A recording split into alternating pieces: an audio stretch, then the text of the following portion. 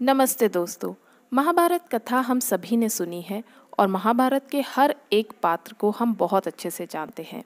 इन सभी पात्रों में से एक पात्र है शकुनी मामा का। शकुनी मामा को चौसड़ खेलने का शौक था और वो उसमें निपुण भी थे। महाभारत युद्ध से पहले भी चौसठ खेला गया था।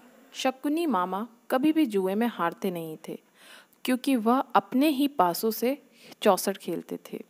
ऐसा कहा जाता है कि उनके पास उनकी बात मानते थे, और ऐसा इसलिए होता था क्योंकि उनके पासों में उनके पिता की आत्मा का वास होता था। पौराणिक कथाओं के अनुसार उनके पिता ने अपनी मृत्यु से पहले ही शकुनी से कहा था कि मेरी मृत्यु होने के बाद मेरी हड्डी से तुम पासे बनवाना, उसमें मेरा हमेशा वास रहेगा और तुम कभी भी चौसठ में नहीं हारोगे। महाभारत से जुड़ी ये जानकारी आपको पसंद आई हो तो लाइक कीजिएगा शेयर कीजिएगा और चैनल को सब्सक्राइब कीजिएगा। Thank you